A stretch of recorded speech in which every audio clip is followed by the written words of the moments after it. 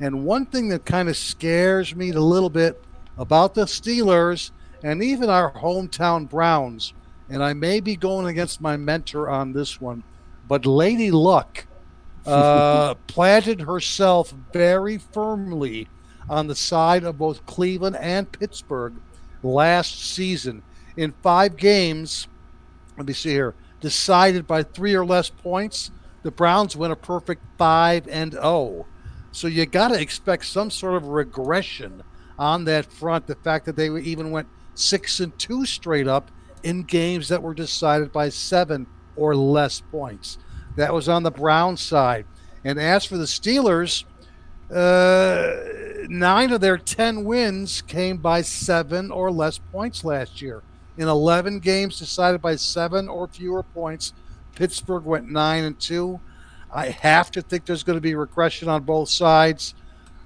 I got Cincinnati winning the division, and I like the current odds. I've got them going 11 and six. I've got Baltimore going 10 and seven. I got Pittsburgh nine and eight. I got Cleveland even at eight and nine. And again, I might be going against Marc on this one, but that's the way I feel. One more thing about the Browns before I throw it back to you guys. What a uh, a Uh, interesting team from an over under perspective last year. Cleveland home games went two six and one over under seventy five percent under the total. Only thirty six point two combined points per game when Cleveland was at home last year. But when they took to the road, they were perfect for over betters. All eight of their regular season road games went over the total last year 54.0 combined points per game. That's amazing. Wow. That's 18 more points per game were scored in Cleveland road games than were scored at home last year.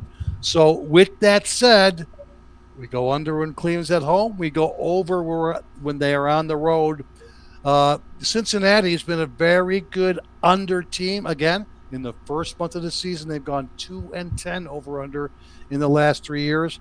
Pittsburgh as well, three and nine to the under in their last three years in games one through four of the season. So, in addition to what we said in regards to the division, we'll also take a look at Steeler and Bengal unders in the first month of the season.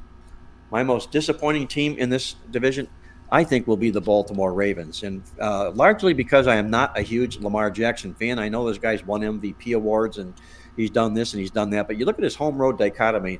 Now, I'll share these with you guys. At home in his career, he's 31 and 12 outright and 18, 24 and 1 to the spread. On the road, he's 28 and 11 outright and 25, 12 and 2 to the spread. So he wins all his money on the road and he burns it at home.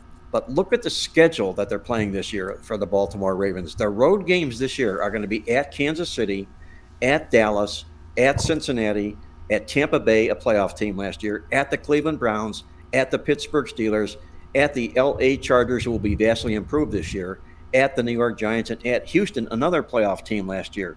They're going to go up against Murderers Row, taking to the road this year, are the Baltimore Ravens. They're going to have to take care of business at home because I think you're going to trip up on the road.